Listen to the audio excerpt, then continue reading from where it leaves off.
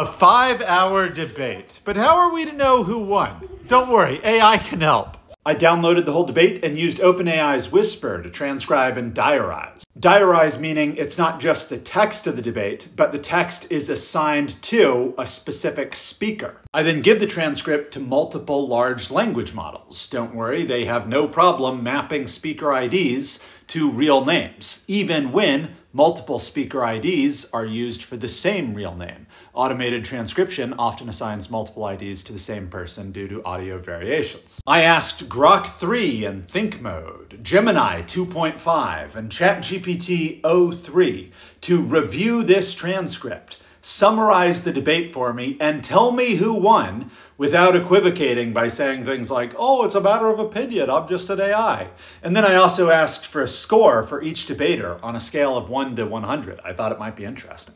I asked for the summary of the debate just so I could tell that the models were actually reading the transcript and that they understood what was going on. They all did. And I asked each of those three models three times to get nine votes total. The winner, the objectively true winner of the debate was Ethan by a vote of seven to two. Like I said, I thought the score might be interesting, but the scores are pretty close for whatever that's worth. Google's Gemini gave a good summary. It wrapped things up by saying Ethan excelled at prosecuting specific incidents where he felt wrong, using prepared evidence effectively. Meanwhile, Hassan was more ideologically consistent. I agreed with that take, having watched most of the debate myself.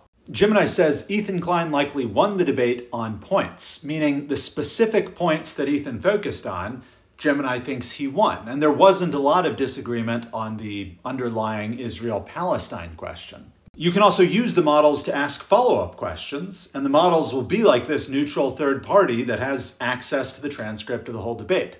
So I took what I thought was Hassan's main point that Ethan was only pretending to agree on the Israel Palestine questions in order to refocus the debate on personal grievances between Ethan and Hassan.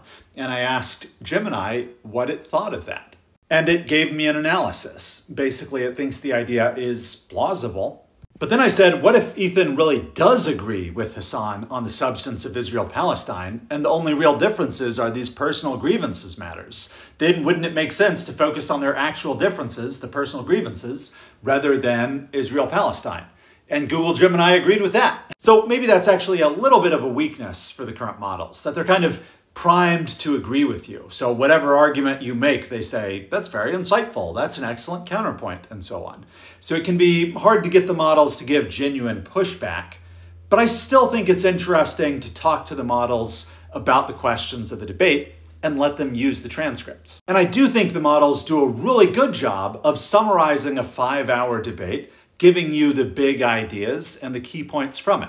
And I agree with what Google Gemini said, which is that on the specific points that were actually debated, then Ethan was better prepared and he won on those points. But I also think it's interesting that O3, which I personally consider the smarter model, at least voted two to one that Hassan was the winner.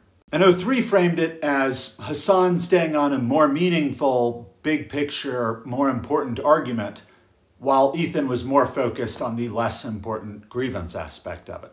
It would be so easy to make an automated clip channel out of this. The transcript can come with timestamps. Just pass it to a large language model. Hey, tell me the times of the big impact moments, the main points, and so on. Then just automatically cut those out of the video, stitch them together, and re-upload them. I don't know. I bet a lot of clip channels are either already automated or they will be soon. But I felt this was an interesting way to use AI. Thanks for your time.